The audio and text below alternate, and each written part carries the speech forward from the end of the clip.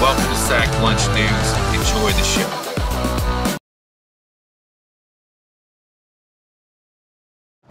All right, everybody, welcome to the show. Today we're covering the Nashville school shooting at Covenant Christian School, which is a private school in Nashville.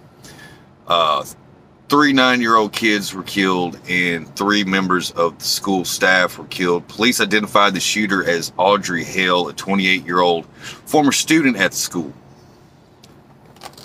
and called the attack targeted. Hate was Hale was shot and killed by the police during the attack, which was the deadliest school shooting in nearly a year. So now we have trannies running around shooting up Christian schools because supposedly this kid went to the school and I guess he had some beef with the school. Hale, armed with three firearms, entered the Covenant School by shooting through a side door, Metro Nashville Police Chief John Drake said at a news conference.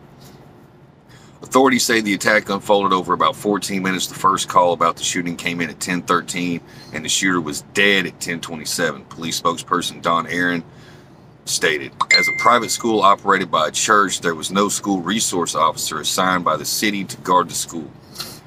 Hale fired multiple shots on the first and second floors of the school, police said.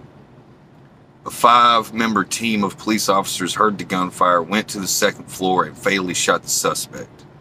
After the attack, authorities found Hale had maps drawn of the school in detail, surveillance, and entry points. When some writings, oh, okay, that were going on over that per- pertain to this day, the actual incident we have a map drawn out of how this was all going to take place.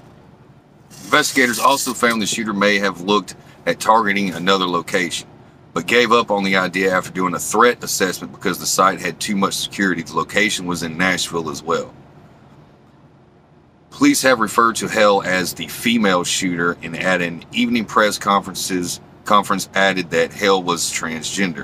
When asked for clarification, the spokesperson told CNN Hale used male pronouns on the social media profile. So this is a tranny going out of his way to dress up as a female, be perceived as female, but uses male pronouns on everything not really dealing with the real world, like Facebook, Twitter, all that crap, like, you know, all the bullshittery of life.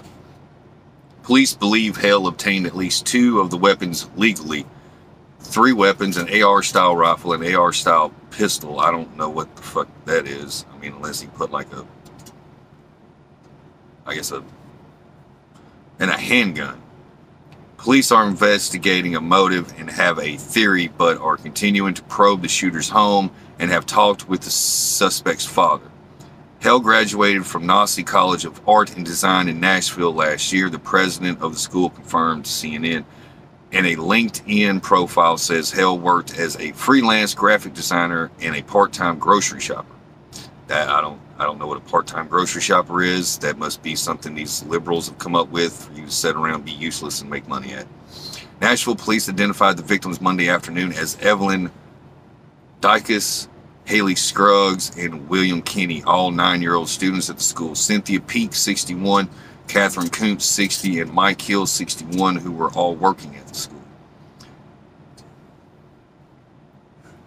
Okay, so Mike Hill was a custodian, and Katherine Koonce was the head of the school. Koonce was the head of the school according to Covenant's website, which also lists she attended school in Nashville at Vanderbilt University and Trevecca Nazarene University, along with getting her master's degree from Georgia State University Hill was a custodian at the school, according to Aaron, and Peak was working as a substitute teacher at the time of the attack. The incident is the 19th shooting at a school or university so far this year in which at least one person was wounded, according to a CNN tally. Now, remember, this is CNN, so 19 divided by reality, so it's probably like the third or fourth. Two faculty members were shot and wounded by a student at a high school in Denver, and the student was later found dead of a self inflicted gunshot wound. With six victims, Monday attack is the deadliest school shooting since the heinous attack in Uvalde, Texas last May that left 21 people dead. The Covenant School is a private Christian school founded in 2001 as a ministry of Covenant Presbyterian Church and teaches preschool through sixth grade, according to its website. On the typical day, it has 209 students and 40 to 50 staff members.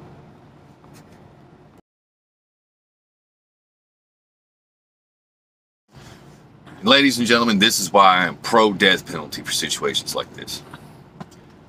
And a lot of people argue, well, you have to be able to prove that this person would have killed more people. Well, it states directly right there in the CNN statements that this person had planned on killing more people until he discovered that the other place plays fuck around and find out. He wanted to fuck around at a 10, and he realized he was going to find out at a 10. So he went back to fucking around at a zero, and he discovered it a zero for the other place. Cop showed up at the first place, he was fucking around at a 10, now he's in the casket, and he found out at a 10. That's why the death penalty is good. The cops don't deserve to go to jail. They did their job. They saved countless kids' lives. You see, out of 209 on a typical day, if only three died, so they saved the lives of 206 kids. Those cops deserve medals, not to be berated by pro gay, blue haired, dumbass dipshit retards. Vote pro death penalty.